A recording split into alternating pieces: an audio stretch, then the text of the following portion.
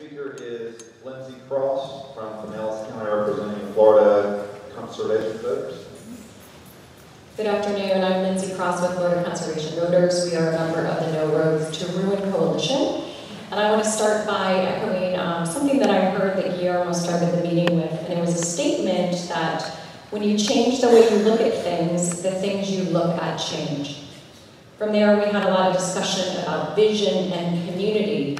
So I would like to challenge you as task force members, first of all, not to put your blinders on.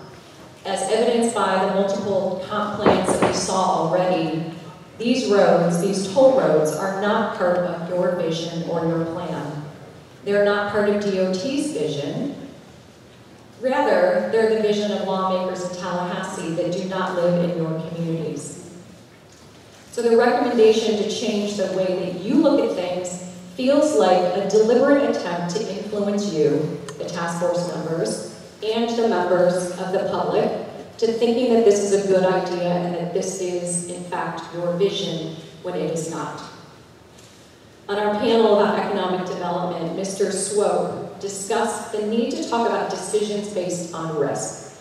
We know some of the risks, destructions of our natural areas, our wetlands, and our springs increased costs for municipalities and taxpayers who will have to subsidize a lot of this infrastructure. And as you heard the woman from Levy County, some of these things that are left unbuilt that the local municipalities will have to pay for.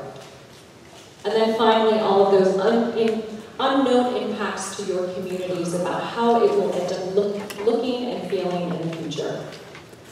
Panel members from Clay County talked about the First Coast Expressway and some of the benefits but they also mentioned that that process for 47 miles of roads took 30 years to develop.